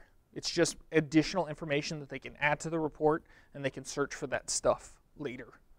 Um, so, what are they going to need from you? Really, your bare minimum is going to be a date and time of the incident. We're going to need some personal information for the victim, that's you, and the businesses involved if possible. So, if you are victimized, we're going to need your data. We're going to need to know about you. We're going to need information from you. We're going to need your statement, so whatever it is that occurred, that explanation. And then we're going to need information on parties involved. Like I said, where did this stuff occur? Who's involved? Like MasterCard. It was my MasterCard or my Discover, and it was at this location, and here's the bill, and I have copies of all of this data. And having all of that pre organized and all set up for yourself makes life a lot easier for you whenever you get into these situations. Um, let's talk about some of the answers now. Now, if you remember when we started, all the way up here at the top, I had some performance objectives, uh, things that we need to be able to identify, like uh, better ways to manage your money, staying out of trouble spots, uh, how to make the most of your money, identifying what a skimmer is, and identifying methods to easily spot scams. Let's head on all the way down to the bottom here, and we'll start going through that stuff. Actually, um, before we start with the answers, let's actually talk about uh, being a good witness. Um, so this is kind of a concept that's used in a whole lot of places. Uh, military, paramilitary organizations, all those places. Being a good witness is a very important concept, and what it boils down to is being able to provide as much information as possible to the next group that comes along that's going to initialize uh, an investigation or do something with whatever that incident was. Okay? Um, we're all adults in here, so I'm just going to say it. We have a homicide investigation team. We do not have a homicide prevention team. Okay? That's there are people who are paid to go out and investigate crimes after they've already happened. However, when you're out there, you want to make sure that you're paying attention to what's going on around you. You want to know what kind of situation you're in. And some of this stuff is just unavoidable. You know, I was in a car, I'm a passenger, I'm sitting there, I'm just cruising on down the road, and somebody's on their Facebook and they ram right into the back of the car. And there's, and what are you going to do? There's nothing that I could have physically done other than just not gone out that Sunday morning. Like, don't go to church. Well, I don't know. What are you going to do? Uh, that's a situation that I didn't have a lot of say in. However, for some of these things, you have some say in it. Is it worth it to do certain things? Is it worth it to go to certain places or to take certain risks? That's up to you to decide. Nobody else can make that decision, but you want to make sure that you're paying attention to what's going on around you, that you keep a good understanding of what's happening. Some of the people in here that have been who lost their lives within those those um, news articles, you'll see that other people were injured. You know, they were in the wrong place at the wrong time, and they were struck by spalling from glass, from different things that occurred around them during that incident.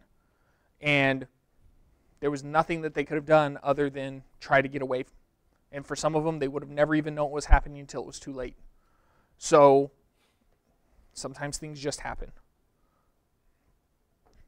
But as far as being a good witness, it means knowing what's going on around you, paying attention, and being able to write that stuff down in the event that there is a massive change to whatever order structure is going on around you. If one minute you're shopping and the next minute you hear gunfire, you should hopefully be able to switch on that switch in your head that says, okay, at some point I'm probably going to need to be able to tell people about what I saw, what I heard, what was going on around me. If I heard screaming beforehand, arguments, whatever, try to gather up as much information mentally as you can so at the end you can provide that information to whoever's investigating this stuff. Answering uh, better ways to manage your money while shopping. Uh, we have plenty of places that you can use like Apple Pay, Samsung Pay. We went over things like PayPal. We have all these options that you can go with, and depending on whatever your threat level is, and as well as how much money you plan to spend, certain tools may or may not be more or less effective. In addition to that, some places simply do not support this stuff. There are places that you go to and they say, we don't do Apple Pay, but we do Samsung Pay. And it's whoever that they've made friends with. I think Barkley is getting in on the action as well. So you'll have Barkley Pay, you're going to have a ton of different companies who are all involved in this stuff. it is my opinion that shopping online and staying out of large crowds can reduce the chances you will end up in a trouble spot.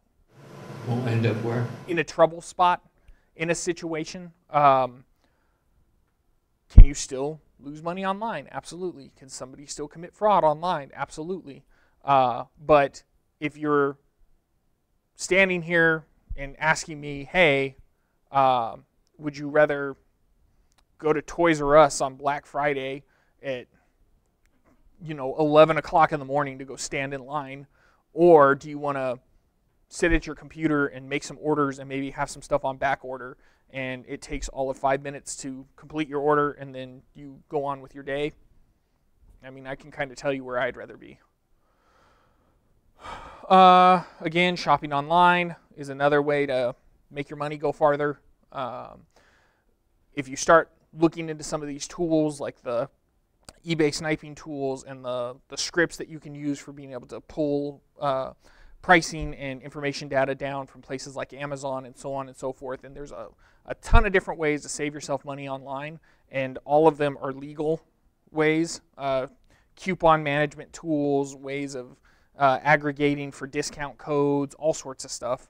Uh, it's been a long time since I paid full price for anything. I mean, just a very, very long time. When you're when you're online making these purchases, make sure that you you look for your deals, and you know, like I said, sometimes maybe it's better not to make a certain purchase during a certain time because it's just not the right time. Credit card skimmers. Those are devices and tools used for stealing credit card information during a legitimate transaction. Oftentimes, they work as a man in the middle attack.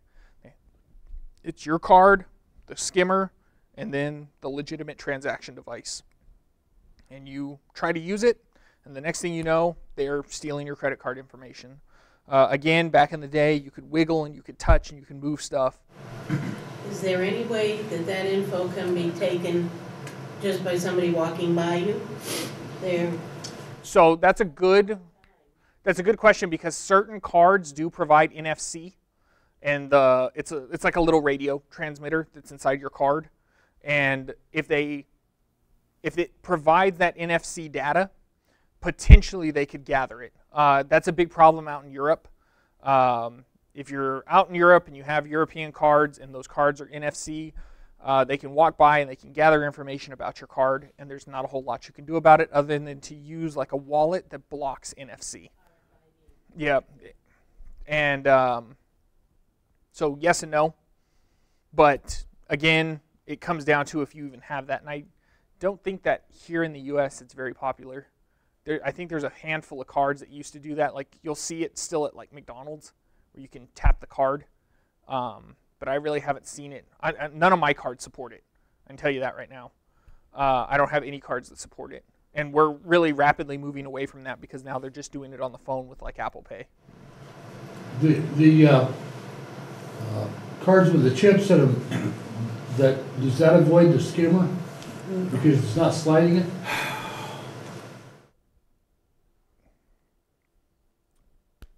Yes and no. So, for it to actually be fully effective, we're supposed to do what's called chip and pin, but most places don't support that. We just do chip.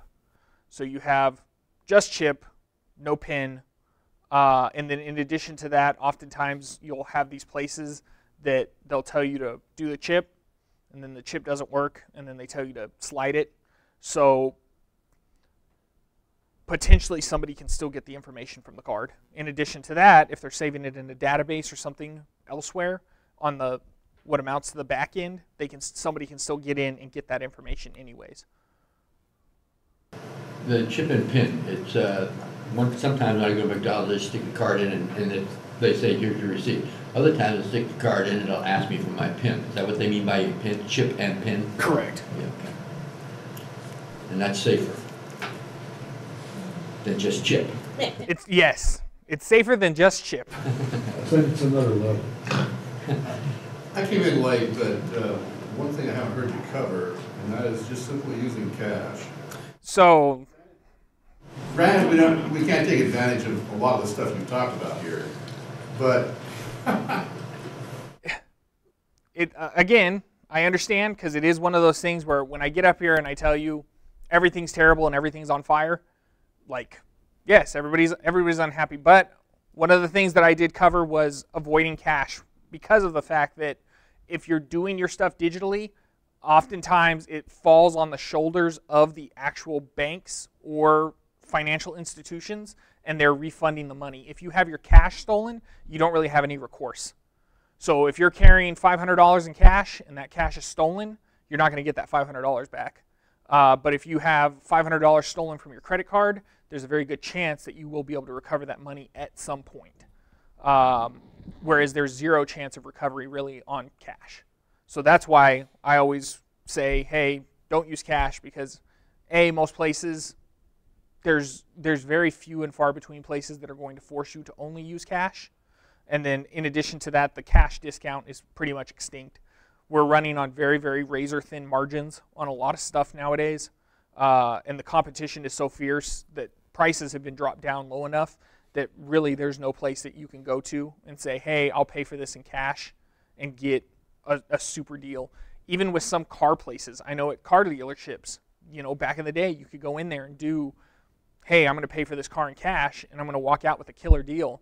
And nowadays, a lot of these places have gotten to the point where you get a better deal for financing it and paying it off in cash later than paying for the car up front. How does anyone find out that you have cash on you in the first place? Um, well, Obviously safer than having a, a debit card or a credit card, I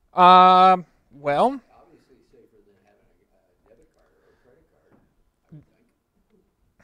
not really. Uh, they, you go to an ATM, and I, and I didn't put any of these in here, but there's countless numbers of people who wait out at ATMs and rob you at the ATM. So you head to the ATM, and they walk right up behind you and place a pistol in your back and demand the cash that you just pulled out of the, the ATM. Uh,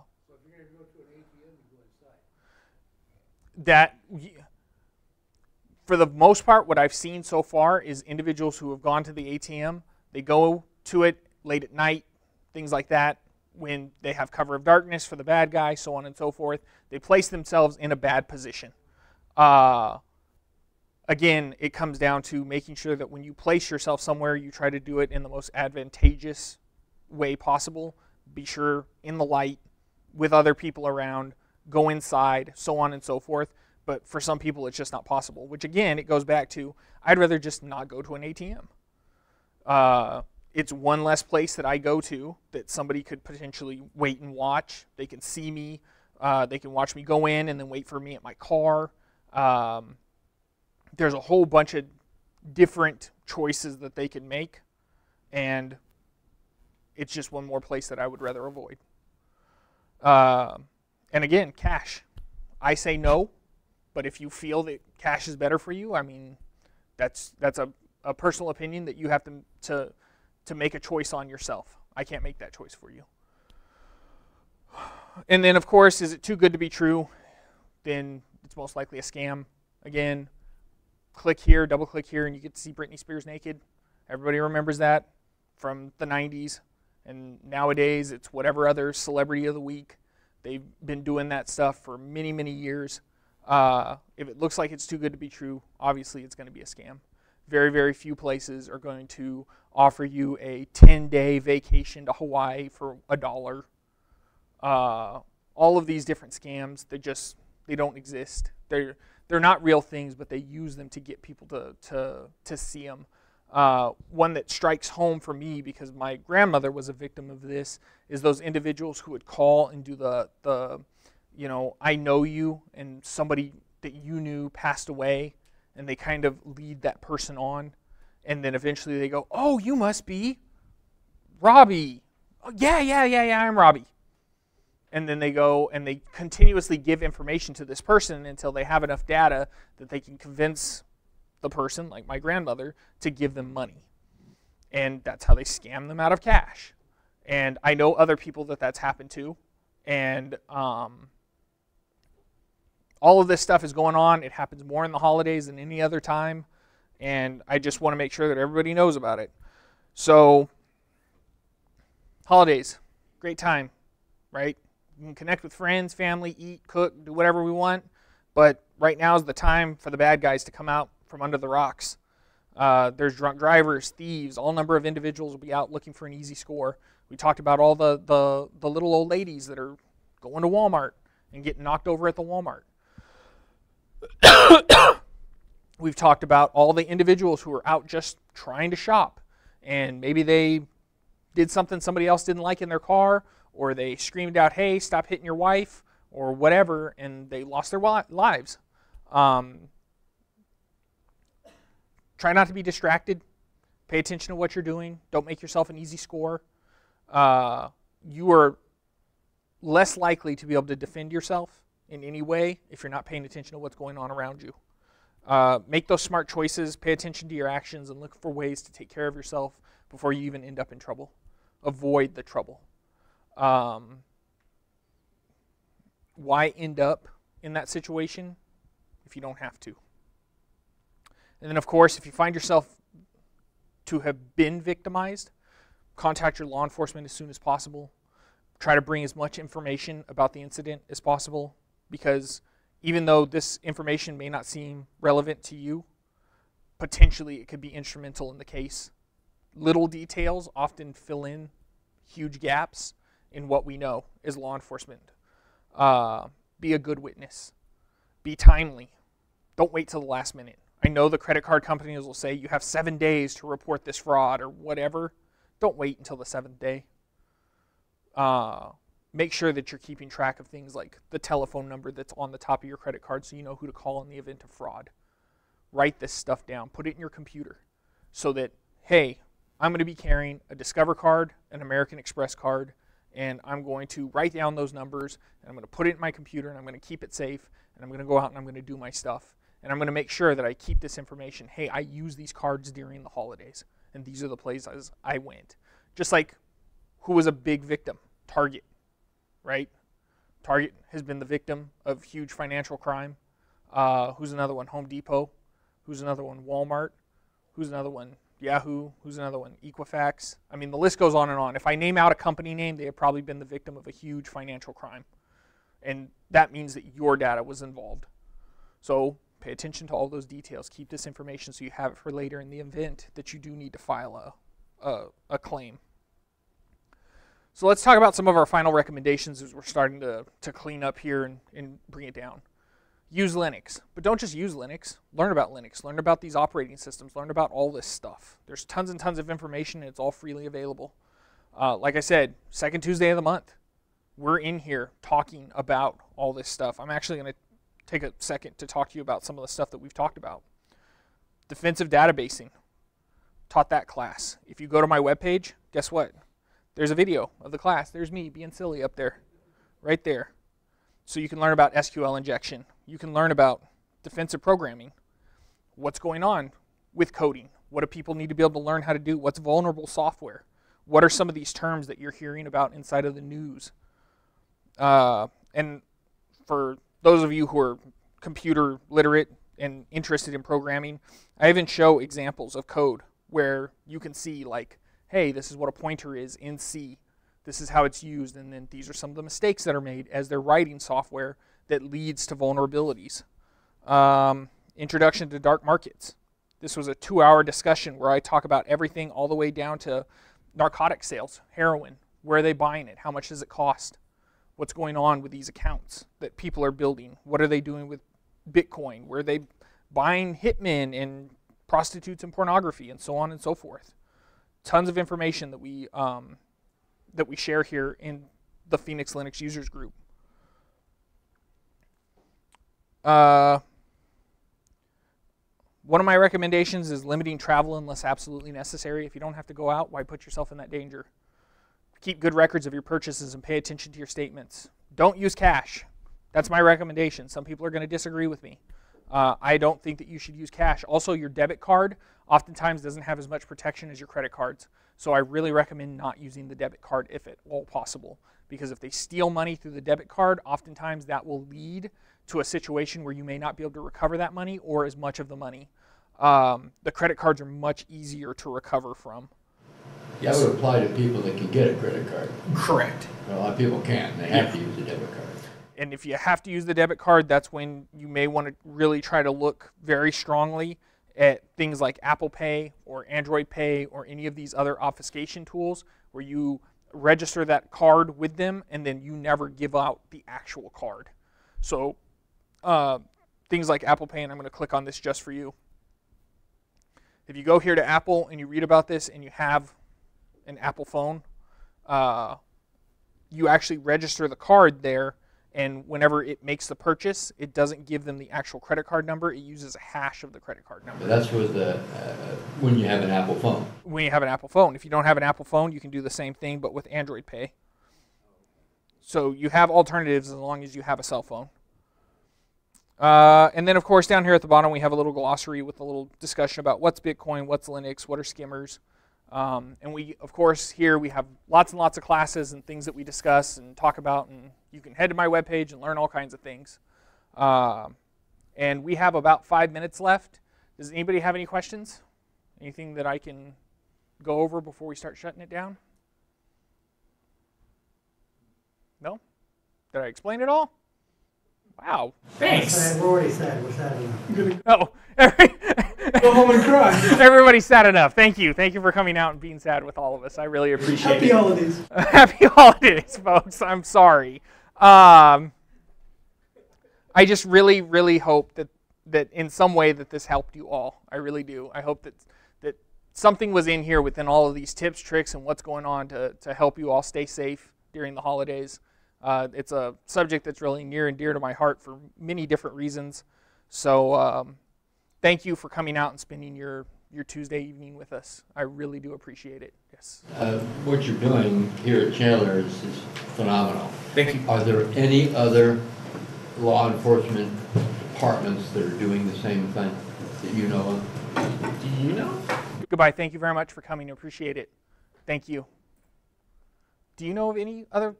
No, I don't think anybody else is doing it law enforcement wise. Not like this. That's, that's silly, they should.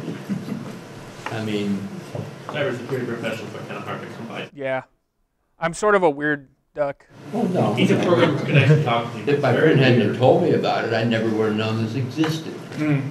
That well, that's another problem. We really need to advertise more to kind of let people know about what's going on here, um, because I do feel like a lot of people don't know what we're doing here. I had no idea, and that's why I come, I'm- I, I see the information is incredibly valuable, but God, I feel paranoid now. That that's every day of my life. yes. I mean, you're be looking over your shoulder all the time, Yeah. You get a great skill. and don't trust anybody. Like, one of the questions I wanted to ask is panhandlers. See them on the corners all over the place. Uh-huh. But there's a new kind of panhandler, I think. If you're in a gas station getting gas and somebody comes over and says, hey, I'm out of gas, can you help me? That's, that's a scam, is it not? I'm going to give you my personal opinion. You don't give those people money. That's my that's my personal opinion, and this is my. Don't give those people money. Don't give them money. Don't do it. And I'm going to tell you, don't turn your back on them. So acts of kindness, or just forget about it. It's Well, just just give it. to your charity, not to the panhandlers and Yep. stuff. Smile.amazon.com. Give to your charities. Do whatever you got to do. But the the people who approach you out in the street, I don't give them money, and don't turn your I back on them. appreciate that. That's I- another reason not to carry cash. Yep. Sorry, I don't carry cash. Yeah, okay. Yep. I just gotta stop being a, Nice guy. a good, good, you know, acts of kindness, decent person and. There's a lot of places you can do acts of kindness that don't involve perpetuating that. Yeah, okay. Yep. Uh, that's the one thing I'm taking away from here that I'm not gonna do anymore, because I've done that a lot. Yeah, be don't.